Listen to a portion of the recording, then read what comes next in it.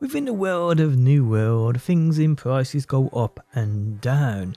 At the moment, certain things are booming, which are easy to farm.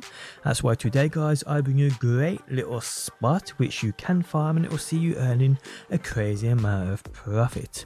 How's it going, guys? My name's DPJ, and to give back to you guys, I'm giving away 10,000 marks of fortune. To be in with a chance of winning these, simply drop a like on the video, make sure you are subbed and have those notifications turned on and leave a comment down below.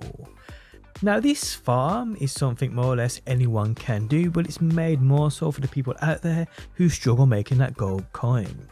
So within this farm you will earn tons of oil, from the many many seeping rocks here.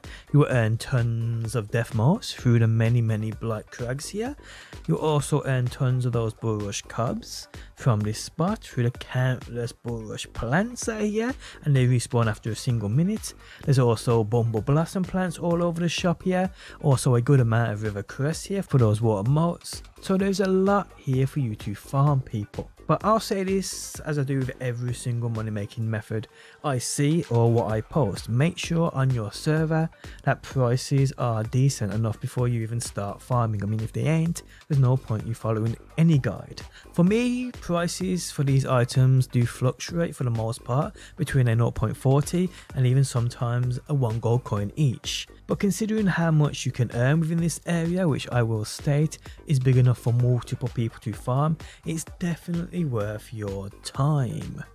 But uh, even still, still check prices of certain items here to see what they sell for on your server.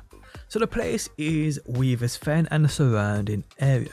Mainly though this big area you can see right here on the map, this place is full of that oil, full of blight crags, full of that bulrush, full of bumble blossom it also has a decent amount of rivercress here for you to farm. Also, all you have to do is plan out a route which is best done via the New World Map website, which I will link below. Just create a route, do a circle, and just repeat the circle until you earn tons of these mats, therefore turning into plenty of gold for you. Now the New World website, as you can see on the screen now, you can see the amount of things that are here for you to farm. Like I said, Bumble Blossom, the Seeping Rocks, the Blight Crags, and so much more. The Bulrush plants don't even show on this New World Map website, but let me tell you, they're absolutely everywhere.